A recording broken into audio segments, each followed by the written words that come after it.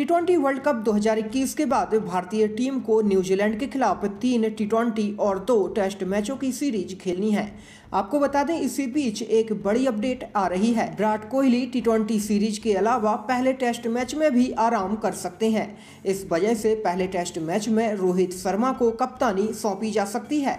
आपको बता दें टी सीरीज़ में वैसे भी रोहित शर्मा के कप्तान बनने के कयास लगाए जा रहे हैं, क्योंकि विराट कोहली ने टी वर्ल्ड कप 2021 के बाद टी ट्वेंटी इंटरनेशनल से कप्तानी छोड़ने का फैसला किया है।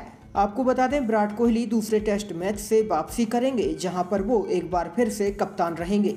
इसके अलावा अजिंक्य रहाणे उप कप्तान के तौर पर खेलते रहेंगे, जबकि टी सीरीज़ में के राहुल को बतौर उप कप्तान मौका दिया जाएगा। इसके अलावा भारतीय टीम से जसप्रीत बुमराह और मोहम्मद समी जैसे सीनियर खिलाड़ियों को आराम दिया जा सकता है। आपको बता दें, श्रेयस सैयर की टीम में वापसी हो सकती है। इसके अलावा आईपीएल में धमाल मचाने वाले हर्षल पटेल को मौका दिया जा सकता है। आपकी राय में क्या वनडे क्रिकेट में भी रोहित शर्मा को कप्तान बनाया जाना चाहिए? आप अपनी राय नीचे कमेंट करें। चैनल को सब्सक्राइब नहीं किया है तो चैनल को सब्सक्राइब करें। वीडियो को लाइक करना ना भूलें।